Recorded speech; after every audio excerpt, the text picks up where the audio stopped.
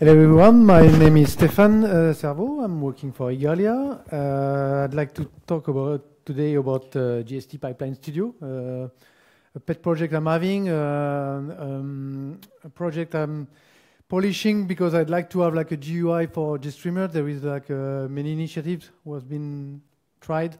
I tried a new one, and uh, I started this project a year ago. And uh, so the idea is like you draw your pipeline and and play with it like uh, directly in the interface.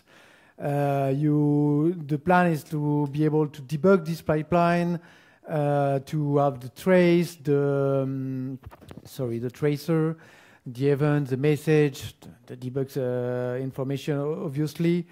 Uh, be able like to interact with a remote uh, device. Uh, for now, it's just local but yeah, I'm having this plan. This is this in mind with another tool I'm having uh, in my in my uh, bag, I would say. So this uh, this application has been written in uh, Rust. It was also a good way for me to learn about Rust, and I really enjoy it. As in the previous presentations, uh, yeah, definitely with VS Code integration is really nice, and uh, so it was a good opportunity to also try it with GTK4, uh, the bindings from GTK4, from GST, and uh, and all integrated. So here is the, the, the interface. So yeah, it looks like a dot viewer. Uh, obviously, the, my idea would be like to uh, open a, a dot uh, later. Right now, it's not possible, but there is other feature. So as you can see, you're having like uh, the, the graph, the uh, draw, draw on, on, screen. I don't want to do a demo because it's going yeah, maybe at the end. Uh, I know, it's not my computer. Uh, and then you're having the, the, the element on the right, you're having the element description, you're having the logs on the, on the bottom. You can integrate the, the video player inside the application or outside. Here it's outside. Uh, no audio support right now. I'm planning to have it to show the, the view VU meter uh, inside the application. So my idea here was like to present the new version. I, I, I released uh, this week, 0.3.3. So the main uh, thing in this uh, release is the support of Windows and macOS installer.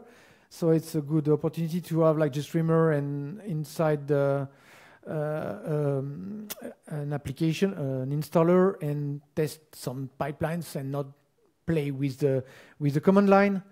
Uh, it's possible to open a pipeline uh, with its command line de description. You enter your your your your pipeline. It's going to draw it on the screen. Uh, it's possible to have multiple graph views, so you have like you can have like multiple uh, pipeline at the same time and running simultaneously. Uh, there is CAPS filter support since this version.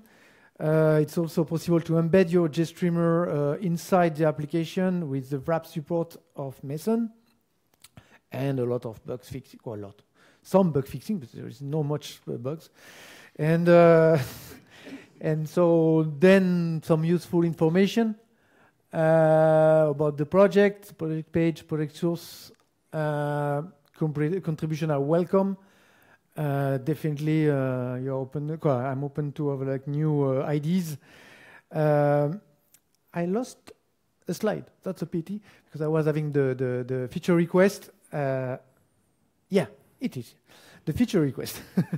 so yeah, support the tracer, uh, element connection. So be able like to have an auto plug and uh, an incompatibility between elements. Right now, you can plug everything uh, with everything, so it's like not uh, obviously bien, good, well integrated. I would say regenerated dot files, remote debugging, as I, said. There is translation to do.